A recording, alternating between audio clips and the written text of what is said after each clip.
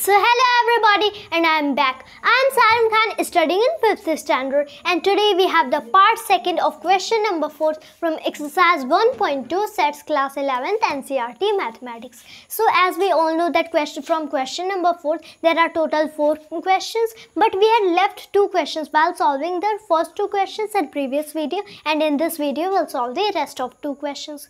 So here third we can see that A equals to 2, 4, 6, 8, 10 and B equals to x is to be x is positive even integer and x is lesser than and equals to 10 this we have. So here we can see a set. Okay here we can see which set a is present that is in roster form while set b is our in set builder form. So first we'll write set b in set builder uh, sorry roster form. Then we can try to compare that whether they are equal or not. So if we write them in our roster form so how it will happen? Whichever elements we have to take those all will be positive even integer this those will be positive first thing. Okay negative symbol will be not.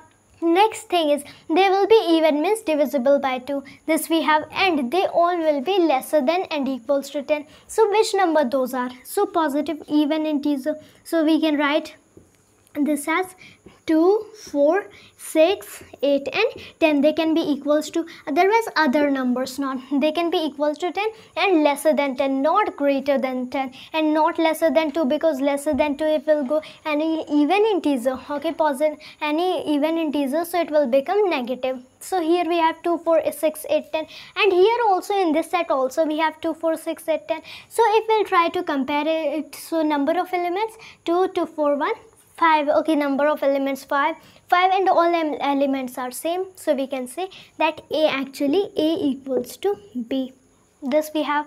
Next we can see x is to b. X is a multiple of 10 and b equals to 10 15 20 25 30 and dot dot. Okay so here we can see multiples of 10 okay whichever elements we have to take? We have to take multiples of 10 first let us write this out in roster form so what are multiples of 10 10 itself 20 30 40 and here we can write dot dot dot because they will go, go up to infinity.